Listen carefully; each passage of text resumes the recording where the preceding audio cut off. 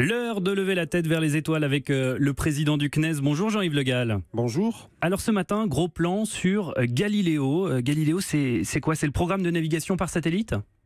Galileo, c'est le programme euh, européen de navigation par satellite. C'est un peu comme euh, le GPS. Le GPS est américain, mais Galileo est beaucoup plus performant et beaucoup plus moderne. Parce que la précision de Galileo, c'est à peu près dix fois supérieure à celle du GPS. Avec le GPS, vous savez dans quelle rue vous êtes. Avec Galileo, vous savez de quel côté de la rue vous êtes. Et ça, c'est extrêmement important si on parle du véhicule autonome connecté.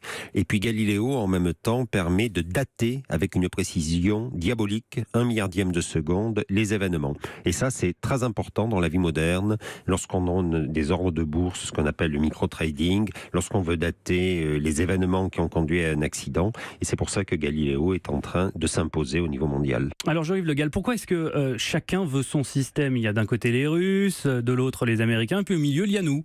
Bah pour deux raisons. Euh, la première, parce que euh, ça permet, à partir du moment où des systèmes comme cela entrent dans la vie quotidienne, on veut être autonome, c'est-à-dire qu'on ne veut pas dépendre d'un système qui ne soit pas européen.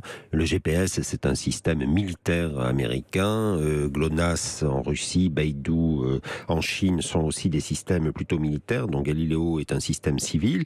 Et puis la deuxième raison, c'est que on voit bien que ces systèmes de positionnement par satellite vont permettre le développement de véritables véritables industries un peu partout. Et donc c'est pour cela qu'on veut y être, pour pouvoir justement avoir cette capacité d'entraînement et créer des écosystèmes. Alors créer des écosystèmes pour Galiléo, ça veut dire euh, se développer. Quels sont les, les projets actuellement?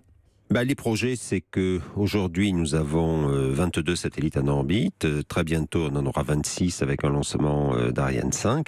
Et puis la constellation, on a lancé les services initiaux. La constellation commence à rendre de plus en plus de services. Elle est, elle opère. Et si vous avez un smartphone de dernière génération, vous avez Galileo. Et donc le smartphone est intelligent. Il choisit le système qui vous donne la meilleure précision. Et moi, j'ai fait l'acquisition d'un nouveau smartphone. Et eh bien, je vois que j'ai une précision bien meilleure avec euh, Galileo qu'avec euh, le GPS. Ça veut dire qu'on utilise finalement euh, Galileo sans le savoir Aujourd'hui, si vous achetez un smartphone, vous utiliserez Galileo. Ça veut dire que dans nos smartphones, dans nos ordinateurs, un petit peu partout aujourd'hui, quand on parle navigation, il y a forcément derrière Galileo à un moment donné?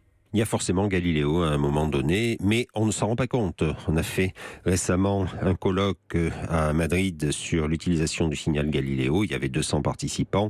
La moitié, finalement, avait un peu oublié que euh, c'était des signaux qui venaient par les satellites. Mais ça, je dirais, euh, c'est la rançon du succès, la banalisation. Merci Jean-Yves Le Gall. On se retrouve demain. À demain. Europe. Europe 1.